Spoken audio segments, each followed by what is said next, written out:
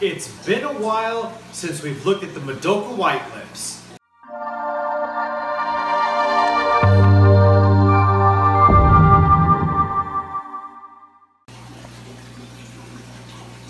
Alright, so here is the breeder male. Looking fantastic. Lips are just insane. Love this fish. And then the rest are all the females.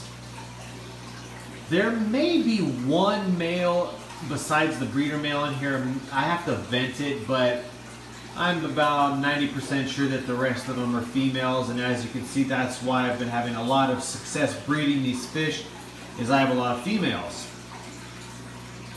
But again, just wanted to give you guys an update on how these guys are looking these days.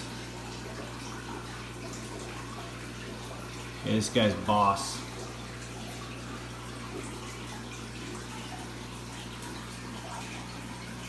Very uh, fun fish to have. Males and females both having color. So the tank is never boring.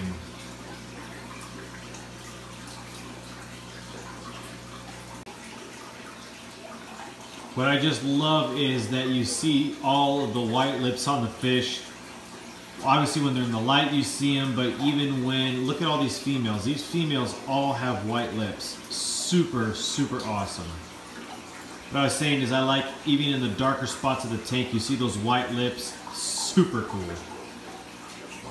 So that's gonna about wrap this one up. Just wanted to give you guys a look at how the Mdoka white lips are doing these days